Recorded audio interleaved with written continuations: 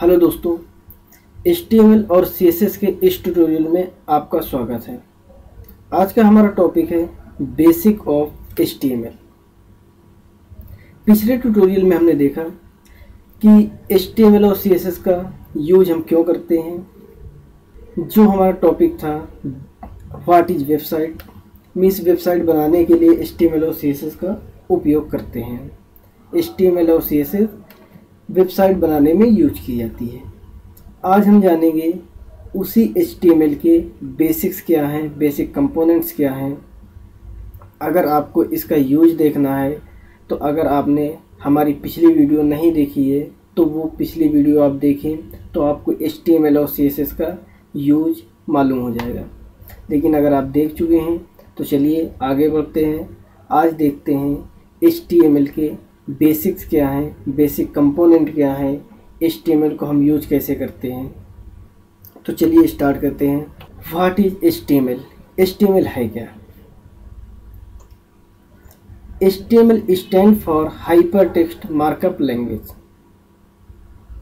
Actually H जो है, वो हाइपर टेक्स्ट मार्कअप लैंग्वेज का शॉर्ट फॉर्म है। ठीक?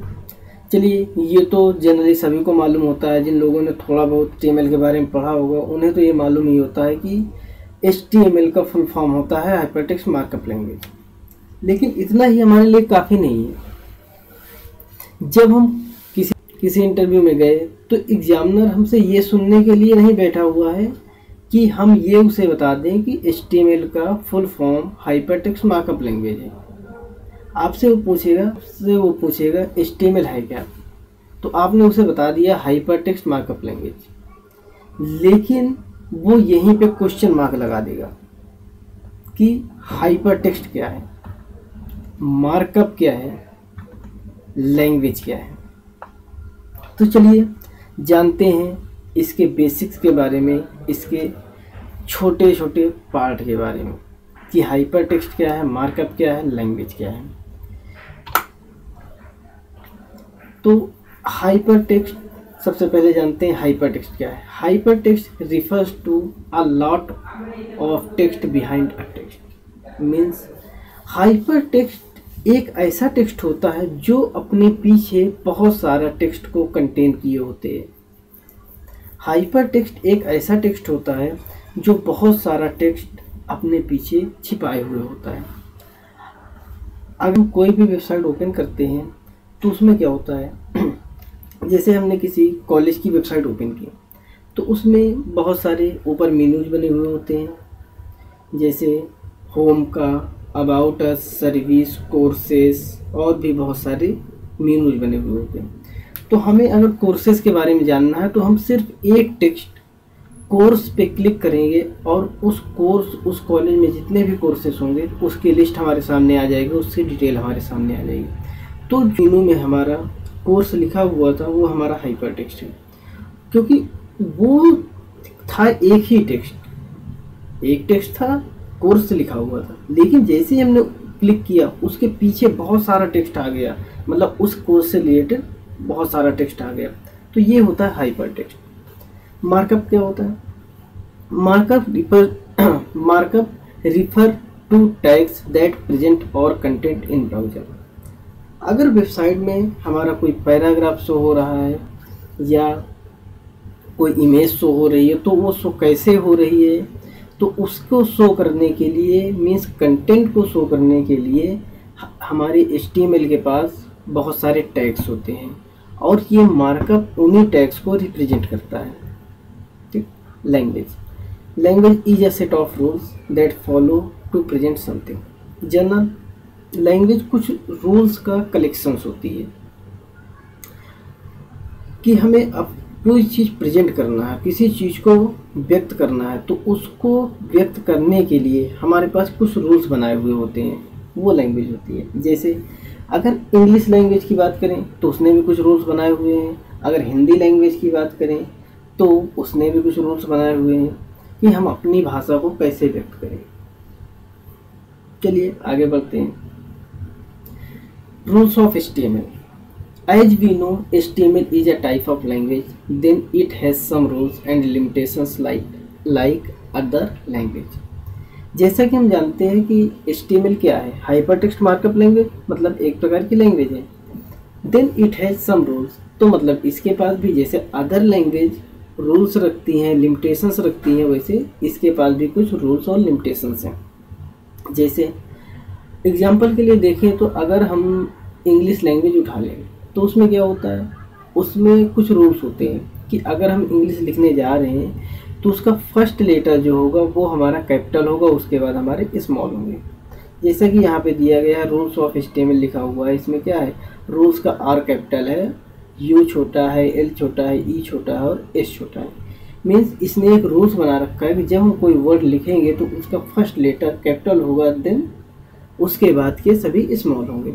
ये रूल्स हैं। लिमिटेशंस भी उसकी सुन लें लिमिटेशंस क्या हैं? तो इसकी लिमिटेशंस इंग्लिश लैंग्वेज की लिमिटेशंस है कि उसने एक लिमिट बना रखा है कि आप कुछ भी लिखें। इंग्लिश में आप कुछ भी लिखें, पढ़ें, आप सिर्फ़ और सिर्फ़ ट्वेंटी सिक्स कैरेक्टर ही यूज़ कर सकते हैं। Means A to Z character he use कर सकते हैं। इसके अलावा आप कुछ यूज़ नहीं कर सकते हैं। उसने ये लिमिटेशंस दी हुई है। तो इसी प्रकार HTML के बाद भी लिमिटेशंस और रूल्स हैं तो देखते हैं इसका फ़र्स्ट रूल क्या कहता है।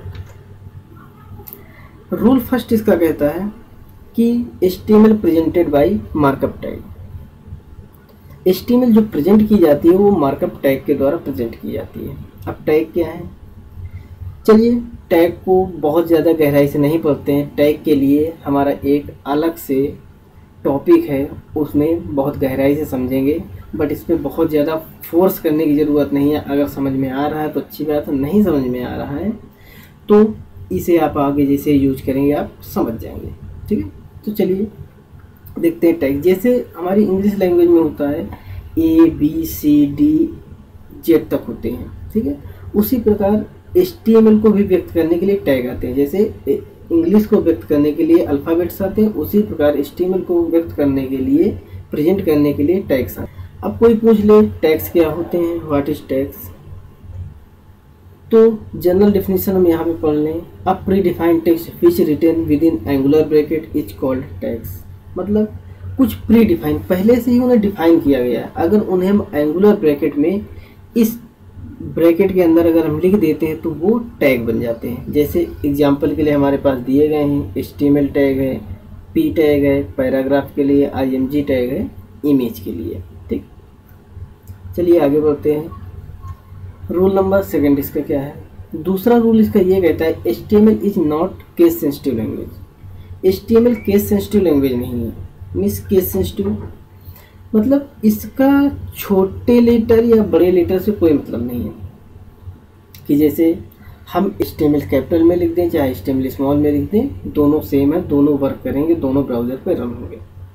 अगला रूल इसका ये कहता है ये कहता है H T M document saved by dot H T M L or. Dot H T M extension जो एच टी एम एल का डॉक्यूमेंट्स होता है, वो सेव होता है. Dot H T M L से या. डॉट एच टी एम जैसे हमारी बहुत सारी फाइल्स होती हैं, जैसे अगर पी डी एफ़ ले लें तो उसका एक्सटेंशन होता है. डॉट पी डी एफ़ अगर हम वर्ड फ़ाइल ले लें तो उसका एक्सटेंशन होता है डी ओ सी अगर हम अपनी एक्सेल फ़ाइल ले लें तो उसका एक्सटेंशन होता है एक्स एस एल टी अगर हम अपनी टेक्स्ट फ़ाइल ले लें तो उसका एक्सटेंशन होता है. Dot T X T means other अलग अलग फ़ाइल की अलग अलग एक्सटेंशन होते हैं।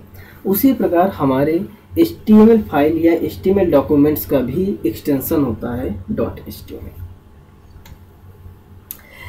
ये एक्सटेंशन का काम क्या होता है? ये एक्सटेंशन शो करता है कि हमारा जो एच का डॉक्यूमेंट्स होगा, वो ओपन होगा किसके साथ? ब्राउज़र के साथ। हम पिछले वीडियो में देख चुके हैं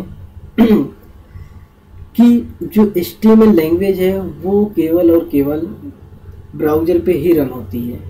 और ब्राउज़र सिर्फ़ और सिर्फ़ एच लैंग्वेज ही समझता है। तो मतलब अगर हम एच का डॉक्यूमेंट्स बना रहे हैं तो वो हम मतलब केवल और केवल ब्राउज़र पे रन करने के लिए ही बना रहे हैं। और अगर कहीं हमारा रन नहीं होगा।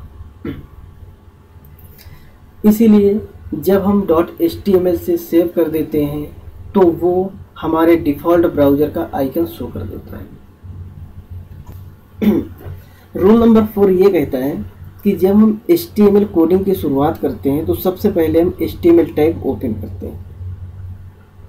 और जब हमारा सारा कोड लिख जाता है तो सबसे लास्ट में H T M L tag हम क्लोज कर देते हैं।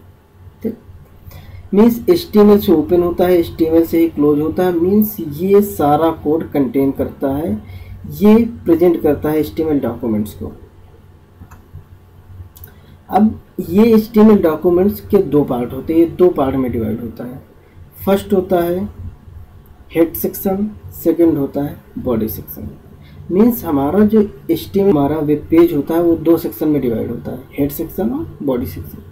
अब हेड सेक्शन का काम क्या होता है? बॉडी सेक्शन का काम क्या होता है? जो हेड सेक्शन होता है, उसका काम होता है हमारे वेब पेज के बिहेवियर को शो करता है। मीन्स वेब पेज का बिहेवियर क्या है, उसको शो कौन करता है? हमारा हेड सेक्शन बॉडी सेक्शन का काम क्या होता है? बॉडी सेक्शन शो करता है हमारा कंटेंट जैसे इमेज शो करनी है तो हमारा बॉडी सेक्शन में लगना है। अगर पैराग्राफ शो करना है तो बॉडी सेक्शन में।